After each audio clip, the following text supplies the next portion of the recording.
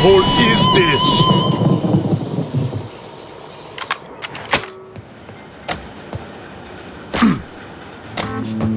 Jsem jenom obyčejný učitel v mateřské školce, ale už vím, co je to násilí.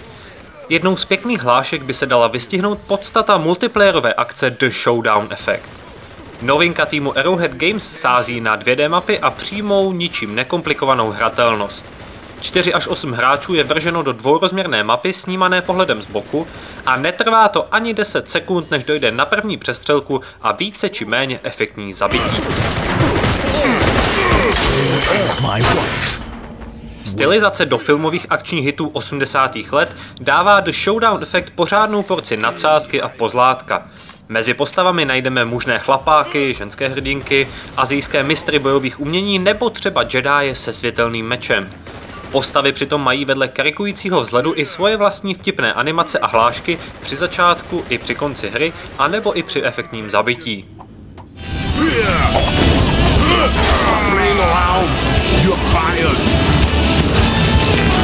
Obal je fajn, důležitější je ale pochopitelně obsah.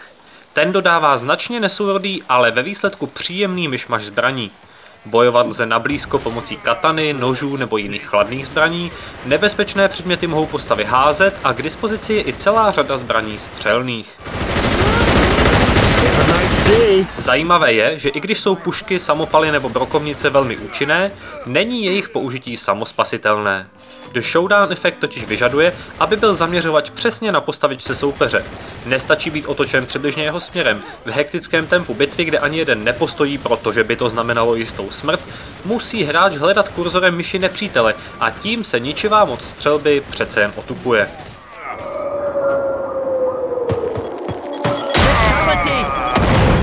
Často tak dojde i na sekání a nejrůznější přepady zblízka. Pomáhají k tomu i pohyby. Postavy mohou dělat kotouly, klouzat se po zemi a skočit po nepříteli plavmo. A tím vším získat nejen výhodu v boji, ale i znesnadnit soupeři jeho vlastní míření.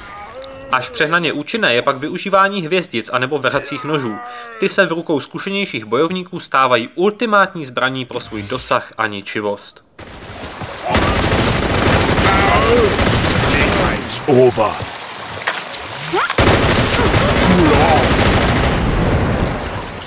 Skvělé je, že sami lokace dávají hodně možností, jak si v boji pomoci. Sebrat a k bojovému účelu využít jde prakticky všechno.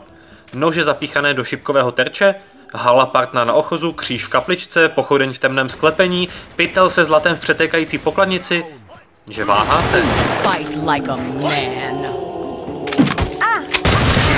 Dickwad. Speciální způsoby zabíjení umožňují užít si do showdown efekt po svém a dosáhnout právě onoho efektu předvádění. To spolu s bezchybným ovládáním a svižným tempem hru v podstatě zachraňuje.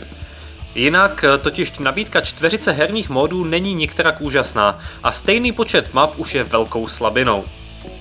Pestrost sice zvedá možnost nadefinovat si řadu pravidel a hrát zápasy do žebříčku nebo na hráči založených serverech, v praxi se ale hraje víceméně jen titulní showdown a zajímavé módy jako týmová eliminace nebo jeden proti všem zůstávají ladem.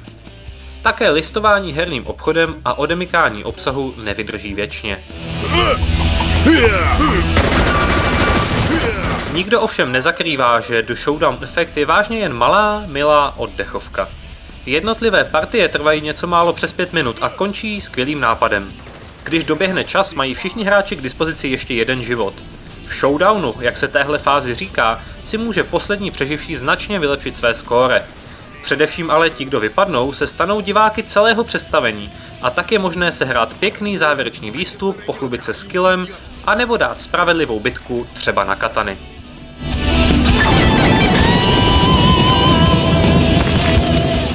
Pak už následují titulky, kde se každý dozví, jak si vedl a pak přes všechna předsevzetí většinou bleskově začne další kolo. I když má řadu chyb, je totiž The Showdown efekt kvalitně vyladěnou, jednoduchou a zábavnou akcí, co si vás získá, ani nebudete vědět jak.